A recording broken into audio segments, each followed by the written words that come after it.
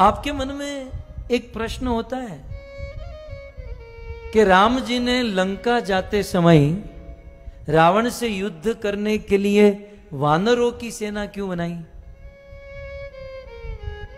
कभी सोचा आपने? आपको कुछ हो रहा है? विचार पंचतत्व प्रभु कुछ मन में आ रहा है? मेरे मन में आ रहा है। इलेक्शन के रिज़ल्ट के बाद मुझे बहुत समझ में आ रहा है कि राम जी ने मनुष्य की सेना न बनाकर वानरों की सेना क्यों बनाई? चार जून के रिज़ल्ट के बाद इतना समझ में आया कि राम जी ने अच्छा हुआ वानर की सेना बनाई, अच्छे से राम जी के साथ रहे, रावण के साथ युद्ध किए, विजय प्राप्त हुई। यदि मनुष्य की सेना लेकर राम जी गए होते ना तो ये मनुष्य राम जी के साथ तो चलते, लंका भी पहुँच जाते, लेकिन लंका जाकर देखते हो रावण की लंका सोने की बनी है।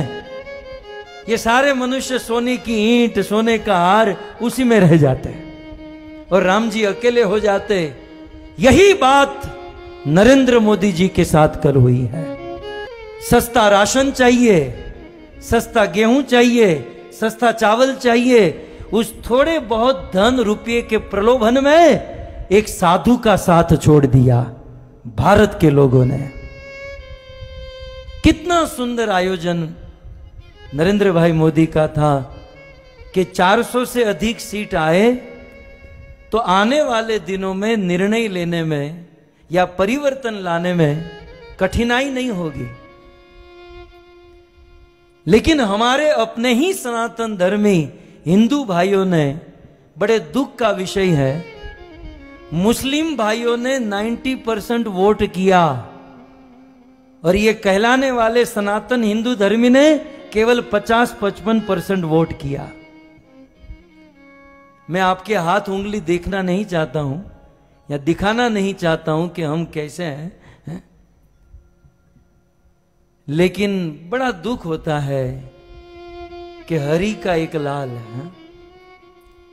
सत्तर साल के बाद कोई एक हिंदू सनातन धर्मी सनातन धर्मों को आगे बढ़ाने वाला,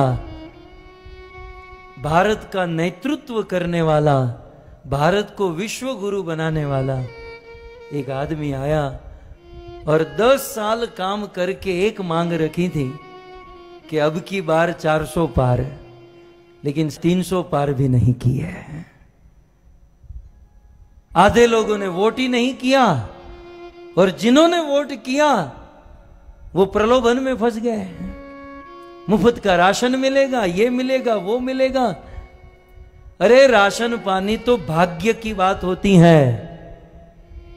यह दिन दूर नहीं, यदि जनसंख्या पर नियंत्रण नहीं किया गया तो विधर्म की संख्या बढ़ेगी और यह कथा कीर्तन करना भी कठिन हो जाएगा। रात को सोए होंगे, आपके गले काटकर लोग चले जाएँगे। इतिहास के पत्ते पलटे ना, छत्रपति शिवाजी महाराज ने यह मुहिम चलाई थी। लेकिन छत्रपति शिवाजी महाराज को सनातनी हिंदू धर्मी ने ही साथ नहीं दिया।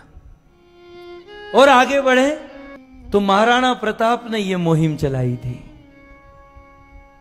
उनके अपने ही लोगों में फूट पड़ गई और उन्होंने साथ नहीं दिया। और आगे बढ़े, भारत आज़ाद हुआ तो सरदार वल्लभ भाई पटेल ने मुहिम चलाई। लेकिन उनको ही, अपने ही लोगों ने साथ नहीं दिया। और आज़ादी के सत्तर साल के बाद, एक आदमी दस साल के अगाह परिश्रम के बाद 400 पार जाना चाहता था। लेकिन हमारे अपने हिंदू सनातन धर्मी ने ही उनका साथ नहीं दिया। मैं तो मोदी जी को यदि मेरी आवाज़ पहुँचे तो यही सलाह दूँगा, भाई, आप सत्तर साल के हुए हो, खा पीकर मौज करो, ये किसी के नहीं होने वाला है। इनको गुलामी करने की आदत ही पड़ गई है। एक आदमी ने बहुत सुंदर लिखा,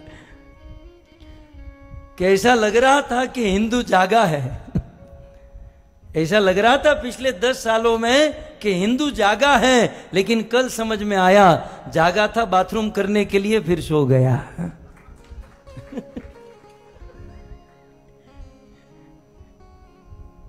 क्या हिंदू जागा है? यदि बहुमत होता तो भारत का दृश्य कुछ और होता। हम अपने आप को भारतीय मानते हैं ना? तो भारत का संविधान थोड़ा बहुत जानना चाहिए। भारत का गणतंत्र हमें समझना चाहिए और हमें हमारी जिम्मेवारी समझकर काम करना चाहिए था। लेकिन अब क्या करें? ये प्रवचन यदि दो महीने पहले किया होता तो अच्छा था। मैं भी अमेरिका से अभी अभी आया, है? लेकिन हमें तो विश्वास था, पता नहीं, ऐसा निकलेगा। एक बात याद रखिएगा, मोदी जी तो प्राइम मिनिस्टर बनेंगे, वो तो बड़ा प्रधान हो ही चुके हैं, लेकिन जो उनको निर्णय लेने हैं, वो नहीं ले पाएँगे क्योंकि अल्पसंख्यक है। जो उनको क्रांति लानी, वो नहीं कर पाएँगे। तो इस दौर से ये मोदी जी की हार नहीं है, ये हम हिंदुओं की सनातन धर्म की हार है, ये हम लोगों की हार है। और हम लोग वो छोटे छोटे प्रलोभन में हैं।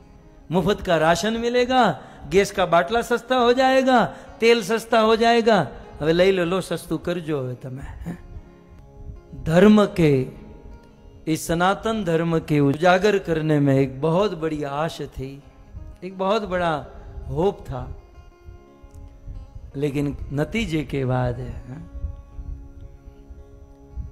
बहुमति से यदि मोदी जी नहीं आए तो एक